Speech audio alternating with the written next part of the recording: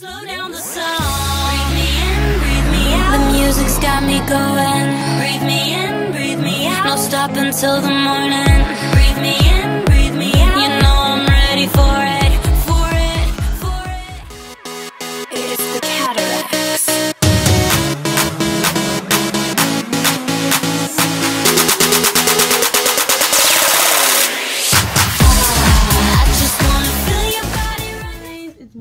17. So today I'm going to build this 3D puzzle. Now some of you might not have heard of these before, but they come in pieces like this. You'll see when I'm building it.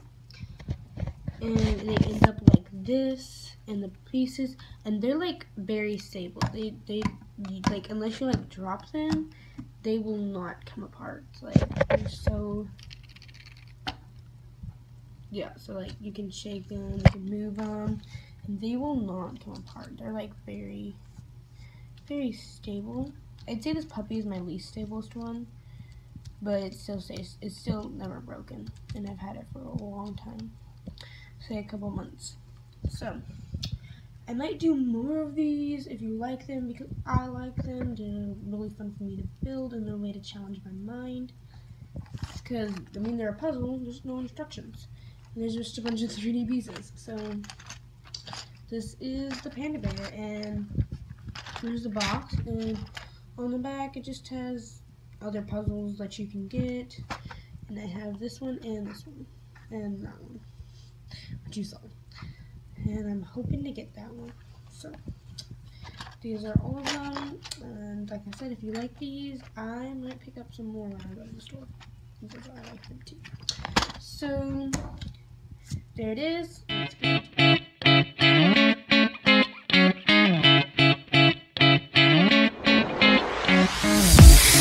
Now that I have captured your attention, I wanna steal you for a rhythm intervention.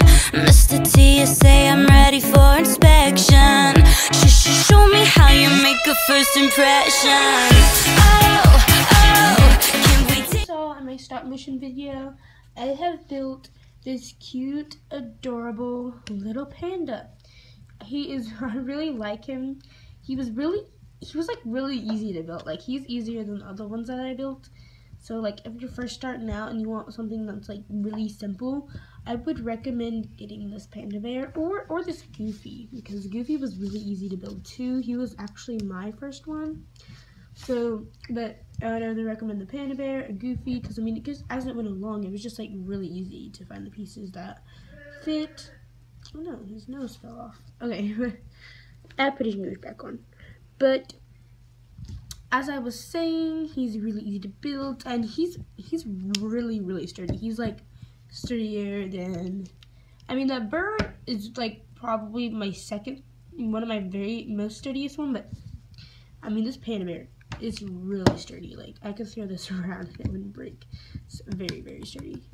So, they just like, pieces just kind of wanted to fit together and it just made this really cute, adorable little panda. So, like I said, I recommend these puzzles very much because they are very fun and they're kind of mentally challenging, but they are really, they're like not that hard. They don't even take that long either. Like, I probably spent like five minutes on the panda bear. I literally it wasn't that hard. It wasn't long. Like they're just really fun, and I would recommend them. And if you guys like this video, then um, I mean, even if you don't like the video, I'll probably get more of these. So, excuse me.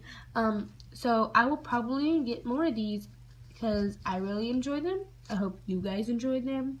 I hope you guys like this video and comment down below like because I need some suggestions on what you guys would like to see and if you like what I'm putting up. So just like comment down below and please subscribe. So I guess that's all for now. It's TMT bye